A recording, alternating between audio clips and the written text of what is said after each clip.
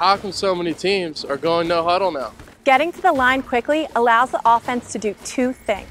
One, communicate with the coach longer. The microphone connecting the coach to the quarterback's helmet turns off when there are 15 seconds left on the play clock.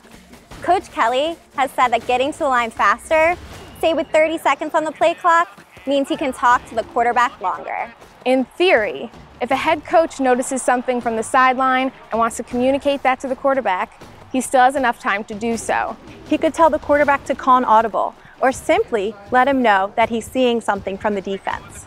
Two, more time at the line also provides the quarterback with more time to read the defense before the snap. If the defense shows more defenders to the left, for instance, the quarterback can tell the lineman to block more in a zone to that side of the field.